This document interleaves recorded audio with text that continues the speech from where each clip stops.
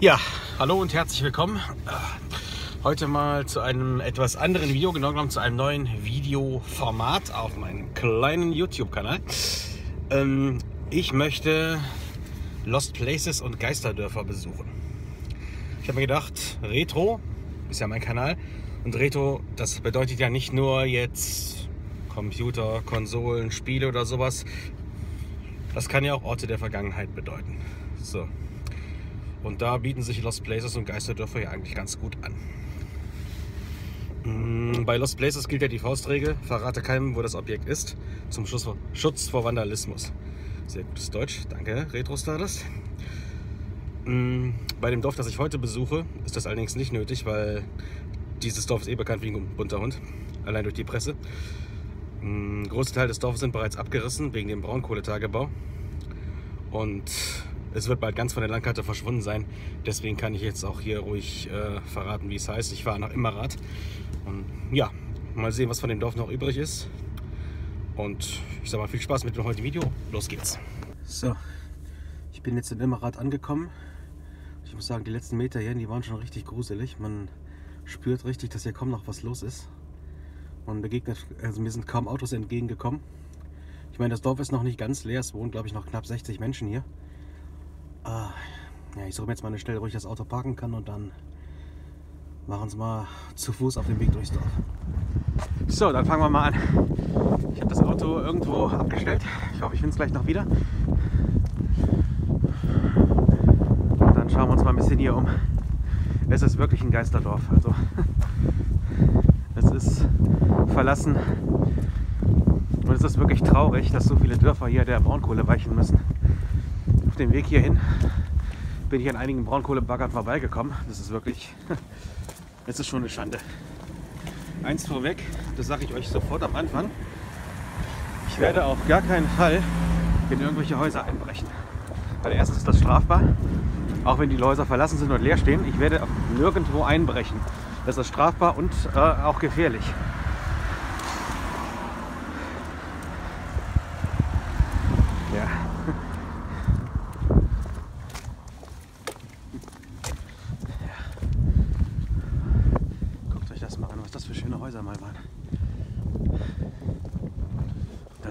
ganz richtig. Ich gehe mal näher ran. Es ist eine Schande. Und alles wegen dieser scheiß Braunkohle. Es ist zum Kotzen nicht. Da verschwinden teilweise Jahrhunderte alte Dörfer einfach von der Landkarte. Hin und wieder fährt doch mal ein Auto hier durch. Und ich bin auch schon anderen Lost Place Fotografen begegnet. Wir kamen gerade zwei entgegen. Also ich bin nicht der Einzige, der von Emmerat noch ein paar schöne Aufnahmen machen will, bevor das Dorf verschwindet.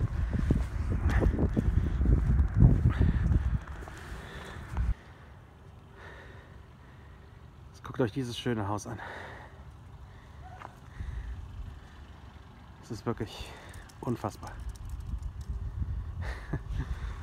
Und ich treffe immer mehr Lost Place Fotografen. Hier laufen wirklich eine Menge rum. Also dieses Geisterdorf ist wirklich es ist faszinierend und traurig. Traurig tritt es wahrscheinlich am ehesten. Hier ist noch so ein großes Haus, das schauen wir uns auch mal aus der Nähe an.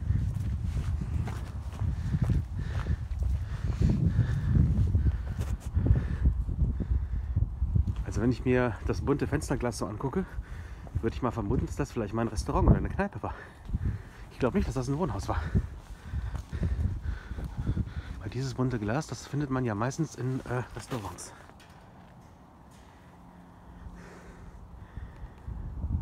Falls irgendjemand dieses Video sieht, der sich hier auskennt und äh, sagt, Hammer, Stardust, du redest da gerade scheiße, das war ein ganz normales Haus, könnt ihr mir jetzt natürlich gerne in die Kommentare schreiben.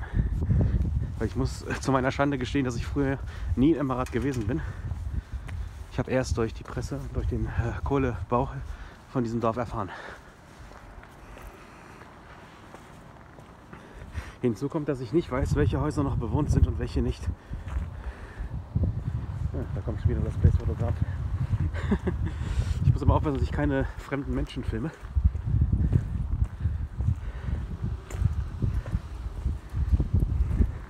Hier ist die ganze Straße schon abgerissen. Es ist noch nicht mal vier Wochen her, da ist die Kirche abgerissen worden. weiß noch nicht mal genau, an welcher Stelle die stand. Deswegen kann ich euch jetzt gar nicht die Ruine zeigen. Was heißt Ruine? Die ist ja schon abgerissen, aber. So, schwenken wir mal hier rüber auf die andere Seite. Was war hier früher? Keine Ahnung. Aber es ist schon verdammt gruselig. Ja, gruselig. Nein, gruselig ist das falsche Wort. Nein, gruselig kann man nicht sagen. Es ist einfach traurig. Traurig zu sehen, ja, was aus diesem Dorf geworden ist.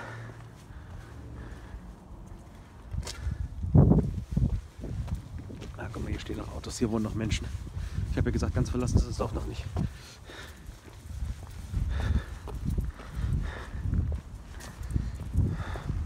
Nein, traurig einfach deshalb, habe es ja schon gesagt, weil durch den Kohlebau so viel zerstört wird, was Jahrhunderte alt ist. Dann geht ihr durch diese Straßen, die früher total belebt waren und spürt den Wind, der einem um die Ohren peitscht. Hin und wieder kommt man ein Auto mit einem Lost Place Fotografen vorbei. Aber das ist auch schon alles, was man hier sieht. Guck mich nicht an, ich filme dich nicht. So. Das ist unglaublich, einfach unglaublich, Leute. Dieses Gefühl, das man hat, wenn man durch so ein Geisterdorf geht, ja, das kann man mit Worten nicht beschreiben. Das ist einfach, das ist einfach unfassbar, unbegreiflich. Ich komme mir so ein bisschen vor wie in Silent Hill. Wenn gleich Alarmsirenen losgehen und irgendwie Asche von dem Himmel fällt, dann renne ich aber weg, da könnt ihr mir glauben. Ach, guck mal, da wohnt auch noch jemand. Gut, da filme ich jetzt nicht. Denn dieses Haus ist eindeutig bewohnt, das sieht man an der Gardine, den ganzen, was da drin ist. Nee, hier stehen auch Autos, hier wohnen auch noch Menschen. Hier werde ich auch nicht filmen. Das gehört sich nicht. So. Ja, es kommt wieder ein Place-Fotograf, das heißt Kamera wieder runter. Links von mir ist ein Bauernhof. Links von mir war gerade ein Bauernhof, wo auch noch Menschen wohnen. Das heißt, hier filme ich auch nicht. Ist wieder eine verlassene Ecke.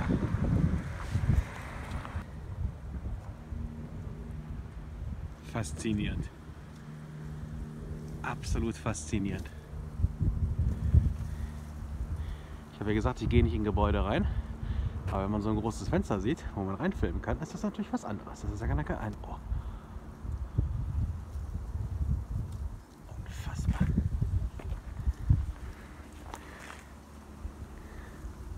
Übrigens, ähm, auch wenn es ein verlassenes Dorf ist, es wird übrigens bewacht. Hier fährt ständig ein Auto rum ähm, von der Wach- und Schließgesellschaft mit Security-Leuten, die aufpassen, dass hier keiner Unsinn macht. Und das finde ich auch gut. Ganz ehrlich, das finde ich gut so. Weil ein Geisterdorf lockt natürlich auch Leute an, die nur Quatsch im Kopf haben, muss man leider sagen. Deswegen finde ich das gut, dass das hier bewacht wird. Hier Leute, wisst ihr Bescheid. Auch in einem Geisterdorf. Nicht länger, schneller als 30 fahren.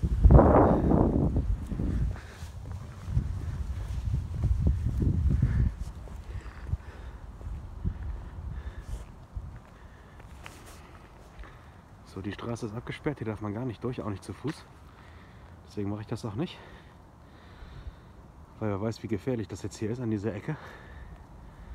Und ich bin allein unterwegs, das, ähm, deswegen bin ich besonders vorsichtig, dass ich mich nicht verletze. Weil ich wollte eigentlich noch ein bisschen leben.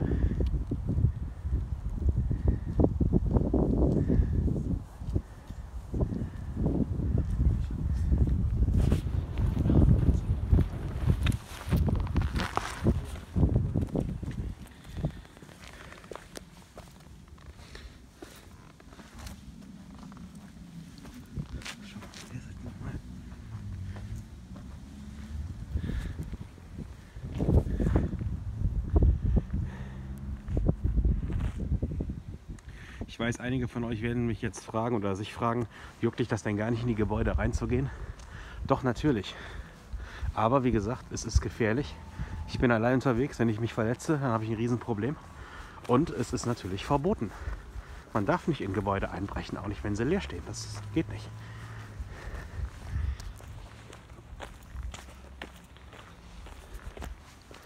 So, jetzt kommt hier ein ganzer Straßenzug noch, den ich mir auf jeden Fall noch ansehen möchte mit euch. So. Ganz offensichtlich ein Mehrfamilienhaus.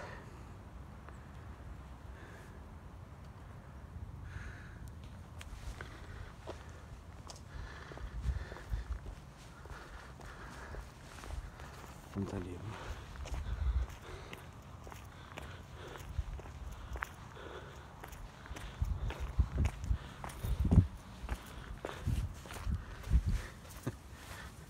Wachsamer Nachbar. Kann ja nichts mehr schief gehen. Aber leider muss auch der wachsame Nachbar das Dorf verlassen. Leider.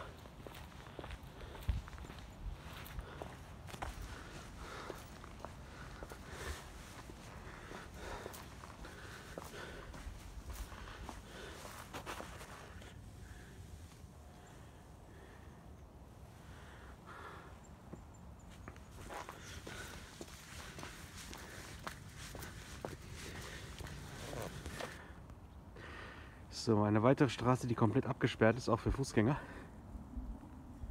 Hier darf ich nicht durch. Und das wird sicherlich auch seine Gründe haben. Ist mit Sicherheit nicht ungefährlich. Mal gucken, wie weit ich ranzoomen kann. Dass ich euch so viel wie möglich zeigen kann von der Ecke hier.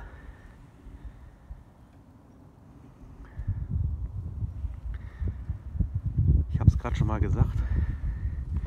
Durch ein verlassenes Dorf zu gehen, es ist ein Gefühl, das kann man nur schwer in Worte fassen. Es hat schon ein bisschen was von Silent Hill. Es ist faszinierend. Es ist traurig.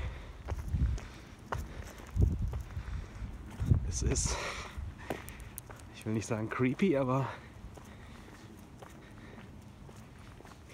ich weiß nicht, wie ich es beschreiben soll. Ich kann es nicht sagen.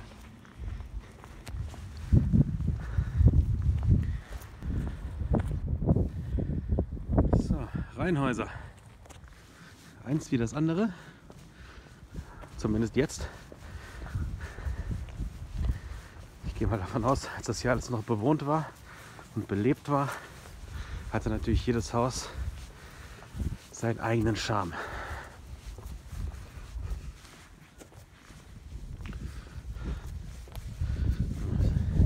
Denn in jedem Haus haben andere Menschen gewohnt. Und jeder Mensch richtet sein Haus ja individuell ein.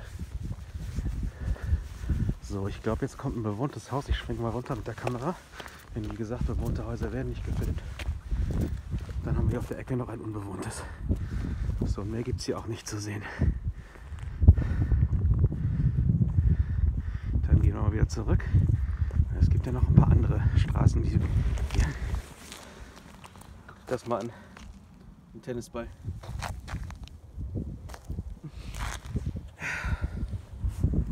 Da in diesem halb abgerissenen Haus sieht man die Überreste. Ich weiß nicht, ob es eine Schaukel war, ein Klettergerüst. Auf jeden Fall hat hier eine Familie mit Kindern gewohnt. Oh Mann. Wie kann man ganze Dörfer einfach platt machen, bloß weil in der Erde ein bisschen Kohle vergraben ist? Ich weiß, viele von euch werden das wahrscheinlich anders sehen. Viele werden mir vielleicht auch zustimmen, ich weiß es nicht. Natürlich, keiner von uns möchte gerne im Winter, dass die Heizung nicht funktioniert. Keiner von uns möchte, dass der Strom ausfällt. Klar, wir brauchen Energie. Ich will jetzt auch gar nicht die Moralapostel spielen, weil ich glaube, das steht mir als letztem zu. Aber das kann es doch nicht wert sein.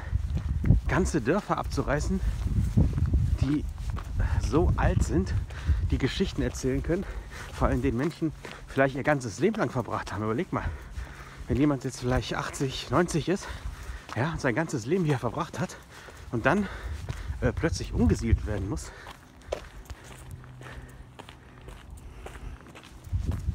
Ich weiß nicht. Also da fehlt mir, da fehlt mir echt das Verständnis für.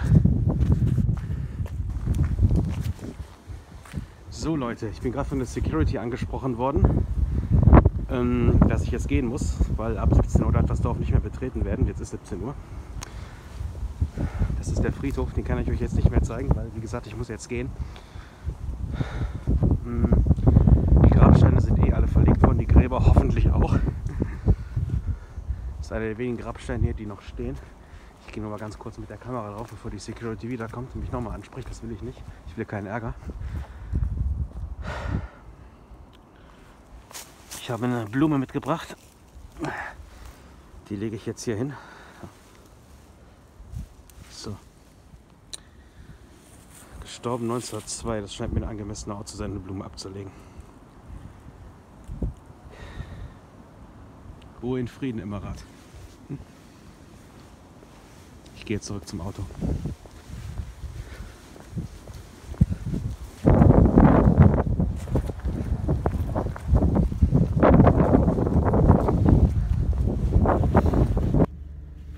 So, ich bin jetzt wieder im Auto. Die Security kam gerade nochmal. Ich glaube, der war schon ein bisschen böse auf mich, dass ich immer noch da bin. Ich habe mich dann entschuldigt und bin natürlich sofort gefahren. Ähm, ja. ja, was kann ich abschließend sagen? Mm, es ist ein Gefühl, das man, ich habe es ja während des Videos schon gesagt, nur schwer beschreiben kann. So, ich stelle mir, wenn ich so durch diese verlassenen Straßen gegangen bin, habe ich mir halt vorgestellt, wie war das wohl, als der Ort noch belebt war. Dass da Menschen gewohnt haben, rumgefahren sind, Kinder gespielt haben, Autos gefahren sind und so weiter.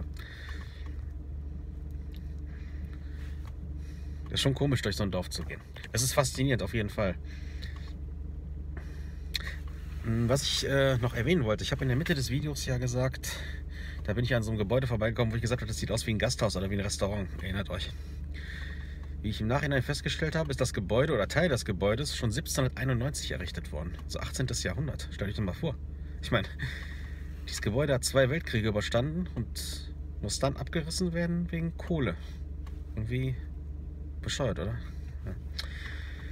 Und äh, dann bin ich ja mit der Kam Kamera auf die andere Straßenseite geschwenkt, ihr erinnert euch, wo ich gesagt habe, oh, guck mal, ne, Baustelle, ein Loch, ich weiß gar nicht, was das hier ist. Da habe ich dann im Nachhinein erfahren, dass, das, äh, dass da archäologische Ausgrabungen gemacht wurden.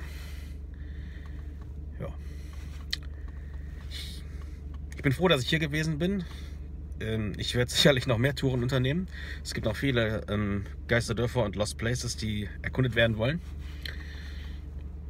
Wenn euch, Video, wenn euch das Video gefallen hat, würde ich mich gerne über einen Daumen nach oben freuen. Und wenn ihr meinen Kanal abonnieren würdet, wäre das auch super. Das übliche Gequassel halt, ne? Bettelt um Abonnenten, bettelt um Likes. Was kein YouTuber machen sollte, was aber irgendwie jeder macht. Und ich glaube, ich habe das auch gerade gemacht. Ähm, naja, ihr wisst schon.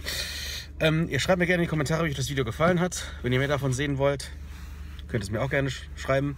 Falls euch irgendwas aufgefallen ist in dem Video, was ihr erwähnen wollt oder falls ich, weil ihr der Meinung seid, dass ich irgendwie an irgendeiner Stelle Müll gelabert habe, könnt ihr mir das auch gerne sagen. Konstruktive Kritik ist immer gern gesehen. Bis zum nächsten Video. Macht's gut.